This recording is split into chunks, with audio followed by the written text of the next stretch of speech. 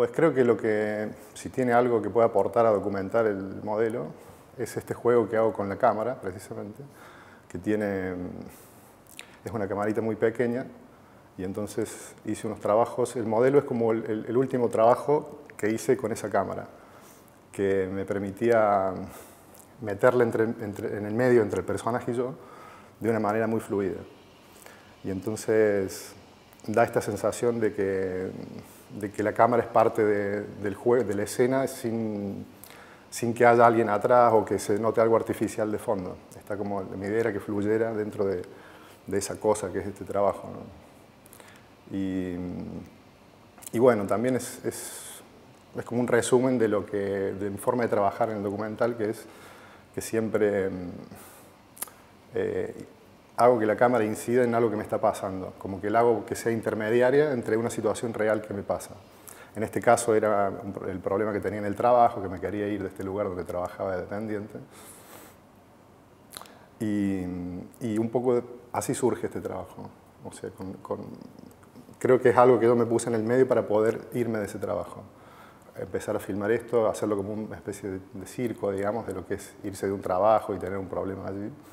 Em, en general hago eso, acojo personajes que están alrededor mío, o sea, por alguna razón se me cruzan y, y algunos los, los, cojo, digamos, para esto.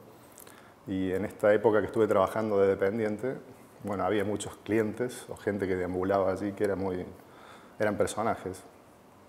Eh, y por eso él lo elegía azarosamente, me llamó la atención a él más que otros, pero me podría haber elegido otro y cada personaje siempre es un mundo en el que dudo si entro o no, porque me termino relacionando como muy, muy intensamente con ese personaje. O sea, estuve casi un año y medio con él, viéndome casi todos los días, porque me iba a visitar a la tienda. No, él me llamó la atención, no sé por qué, porque igual había una química cuando apareció, esa cosa en el trato, un poco violento, irónico y no sé qué, que pegó conmigo, que a lo mejor soy un poco así también como él. Entonces después la relación se va armando con esa empatía. En alguna forma me, empiezo a identificar y nos terminamos teniendo como un código, entendiéndonos porque hablamos en algo común, me parece. Me parece que es parte del mismo código, eso, ¿no? de haber entendido que la relación con él funcionaba si yo le dejaba dinero. No, no, no es que quiero decir que sea una relación sentimental y que por eso estoy justificado en las cosas que le hice o que hicimos juntos, sino que es una forma, es, el código era ese eh, y además era violento el código, no era solo sentimental.